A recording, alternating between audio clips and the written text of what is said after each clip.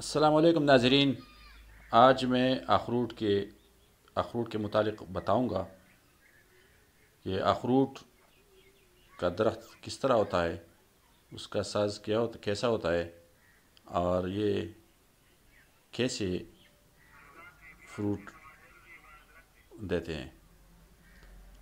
तो नाजरीन अखरूट का दरख्त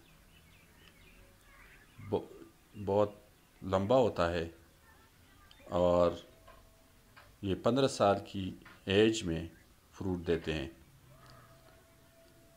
और ये बहुत मज़बूत दरख्त होता है और इस दरख्त की लकड़ी जो है, ये ज़्यादातर फर्नीचर में इस्तेमाल होते हैं। अखरूट एक अच्छी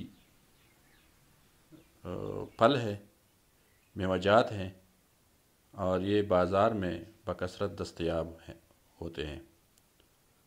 और ये ज़्यादातर पहाड़ी इलाकाजात में पाए जाते हैं। ये बहुत अच्छे हैं।